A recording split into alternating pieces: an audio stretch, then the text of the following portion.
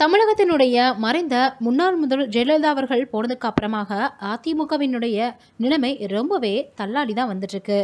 அப்படிதான் இப்போ கட்சிகள் மூன்றாக பிரிஞ்சிருமோ அப்படின்ற மாதிரியாக எல்லோருமே வந்து பார்த்திங்கன்னா பேசி வந்துட்டுருக்காங்க. காரணம் சசிகலா தலைமையில் ஒரு அணி உருவாகிறதுக்கான வாய்ப்புகள் இருக்குது அப்படின்னும் அதே போல் எடப்பாடி பழனிசாமி அவர்களினுடைய தலைமையில் இன்னொரு அணி உருவாகும். இன்னொரு அணி வந்து பார்த்தீங்கன்னா டிடிவி தினகரன் அவர்கள் வந்து உருவாக்குவார் அப்படின்ற மாதிரியாகவும் ஓபிஎஸும் சசிகலாவும் ஒருபுறம் இருப்பாங்கன்னு நிறைய செய்திகள் வெளியாகிக்கிட்டே இருக்கு. இப்போ தினந்தோறுமே எடப்பாடி பழனிசாமி அவர்களுக்கு ஒவ்வொரு நாளுமே ரொம்பவே வந்து பார்த்தீங்கன்னா அவருக்கு கவலையை கொடுக்கறதாக சொல்லி வந்துட்டுருக்கு. காரணம் என்ன அப்படின்னா தேனி மாவட்டத்தில் எல்லோருமே சேர்ந்து சசிகலா அவர்களுடைய வருகைக்கு ஆதரவு கொடுத்தாங்க. அதே போல் அனைத்து மாவட்டங்களிலேயும் இருக்கக்கூடிய அதிமுக சார்பில் இருந்து சசிகலா அவர்களுடைய வரவேற்பை எல்லோருமே ஓரளவுக்கு வரவேற்க தான் செஞ்சுருக்கிறாங்க.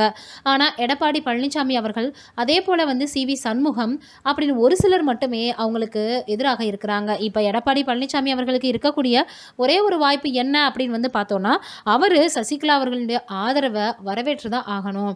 அவங்களுடைய வருகையை அவர் வந்து வரவேற்று தான் ஆகணும் அப்படின்ற மாதிரியாகவும் வேறு வழியே கிடையாது. இல்லைன்னா கட்சி வந்து இரண்டு மூன்றாக பிளவுபடுறதுக்கான வாய்ப்புகள் அதிகமாக இருக்குது அப்படின்னு சொல்லி வந்துட்டுருக்காங்க ஏற்கனவே எம்ஜிஆர் அவர்கள் ஆட்சியில் இருந்தபோதே இறந்து போன காரணத்தினால அதற்கப்புறம் அவர்களுடைய மனைவி அப்புறமாக நிறைய பிரச்சனைகளுக்கு பின்னாடி தான் ஜெயலலிதா அம்மா அவர்களுடைய கைக்கே அந்த கட்சியானது வந்துச்சு.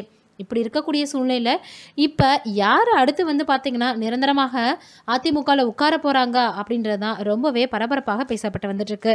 யார் தான் கடைசியில் அதிமுகவினுடைய பொதுச் செயலராக இருக்க போகிறாங்கன்றதை நம்ம பொறுத்திருந்து பார்க்கலாம்.